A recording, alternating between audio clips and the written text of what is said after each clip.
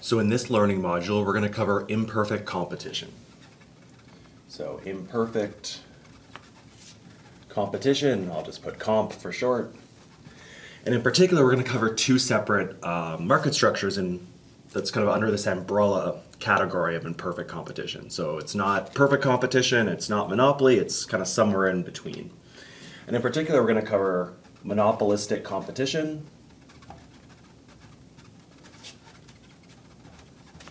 So this is many small firms and they have differentiated products, so they're somewhat different products, differentiated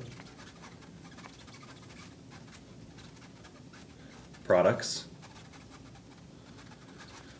So we have, you know, that's maybe clothing, for example, right? So, or shoes.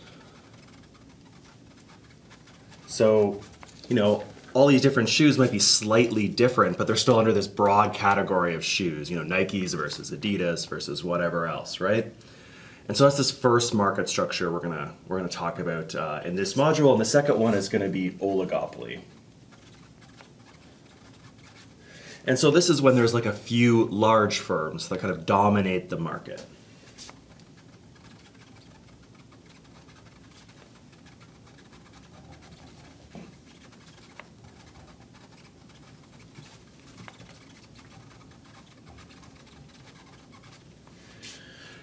And so we're going to use kind of game theory mostly to kind of explore this um, this kind of market structure. And in particular, we're going to really concentrate on competitive behavior.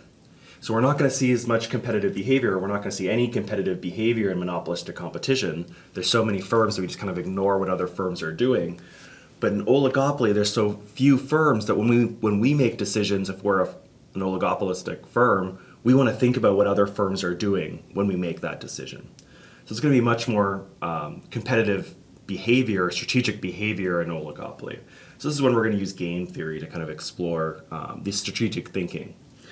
So for examples, oil is a classic example. Maybe we think social media companies, which are in the news these days, and there's kind of complaints that there's these uncompetitive practices or these markets are you know near monopolies because they're dominated by just a really small number of large firms. And so these are the two market structures that we're going to kind of talk about within this kind of umbrella of imperfect competition.